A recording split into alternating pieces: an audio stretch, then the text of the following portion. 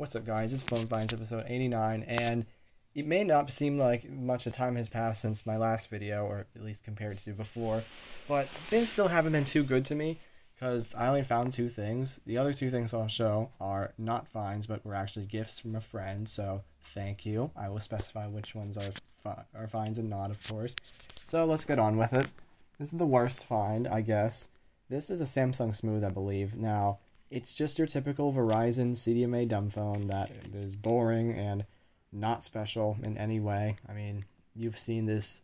If you're a longtime viewer and have been watching my videos ever since I first started this whole phone find saga, you'd know these all look pretty much exactly the same. I mean, there's nothing interesting about this phone, really. It's just a dumb phone that does dumb phone things. But yeah, it's in de- decent condition, though.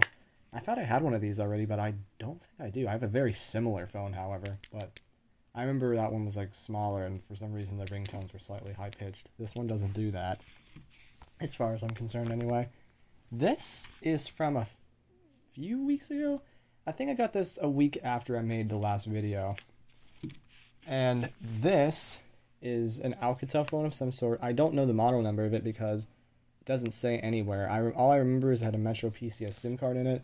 The battery's dead, but there's no point in charging it because this thing does not work properly. The screen is completely destroyed. Like when you turn it on, it'll just be showing lines everywhere and you can barely make out what's on the screen. Somehow the digitizer still works, but you can't really use it because everything will be shaking so much you can't really tell where a button actually is. So it's in its current state, it's unusable. Don't like I said, I don't know what phone it actually is though, but yeah. I noticed the camera lens is actually warped too. This thing was really not taken care of well. I don't know what happened to it. It's not even that bad of a crack, really. Okay, on to some, I guess, more interesting stuff. This is not a find. This is actually a gift from my friend, like I said. So once again, thank you. This is a Samsung Starlight. Now, the reason the back is all weird like this is because I remember he told me that his goal with this phone was he wanted to try and use it as a camera for his RC car, and there was actually videos of that on here, but I guess it didn't work or it kept falling. I don't know. I guess I mean, I'm sure if you made like a proper mount for it, it would have worked fine though.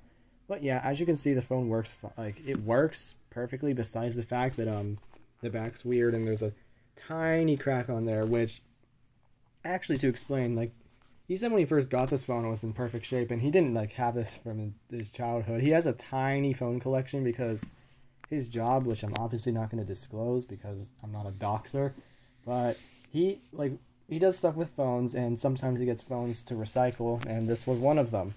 So yeah, it's just a very low end phone, for, even for its time. I don't know when this thing was made. I'm guessing Samsung Galaxy S3 or S4 era, just judging by the sounds. Like, you know the ones. And I believe anything to show here. Yep, Samsung Starlight.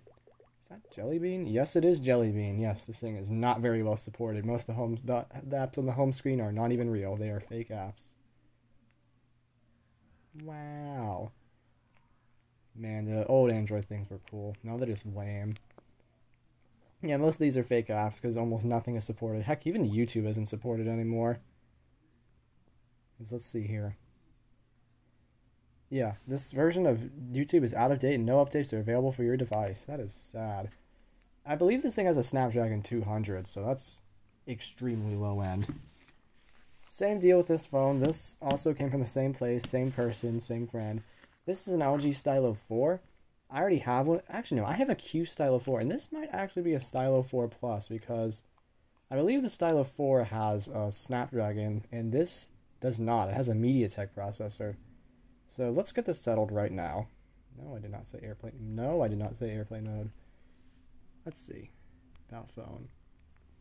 Okay, no, I was wrong. It's just a regular Stylo 4, which is weird considering, like I said, it uses a MediaTek processor, and I'm pretty sure the regular Stylo is supposed to use a Snapdragon 450, but it might be the other way around. I don't know.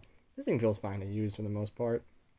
It works besides the fact that it works perfectly besides the fact that it's pretty badly cracked, although I can't say which one's cracked worse, either this one or the one I the Q Stylo I got like in 2020, I believe.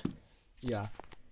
I'm glad to have it though. It's nice to have this in my collection. Weirdly, it's a Virgin mobile phone. Like this might be one of the last phones they ever made considering Virgin Mobile has not existed for a while and it was just weird seeing that. Besides that, though, it has like no carrier branding. It actually, I just noticed, has no bloatware. Oh, I gotta show you this though. Turn off network connection to run benchmark app. In all my years of collecting phones, I've never seen that before. I'm just like, why? Are they ashamed of the score it would get? You didn't get a bad score in that app, but you're able to bypass that because if you just turn it off and then submit the bun- like then turn it on app as you read as you're about to submit the benchmark, it'll let you. So you failed, LG.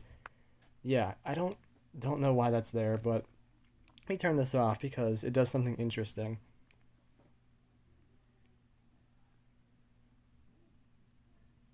Stock LG shutdown uh, animation. I'm not one to usually comment on that thing, but that's not something you see every day, especially with a carrier phone. You usually see that with an unlocked phone.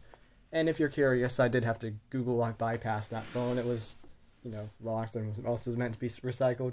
But yeah, that's about it. I kind of like not the greatest finds, but I'm not too pressed about it. This just happens sometimes. And it is April, so you know what that means. The full phone collection video is going to be coming out soon. I'm working on it, and I'm in the process of actually charging some phones right now.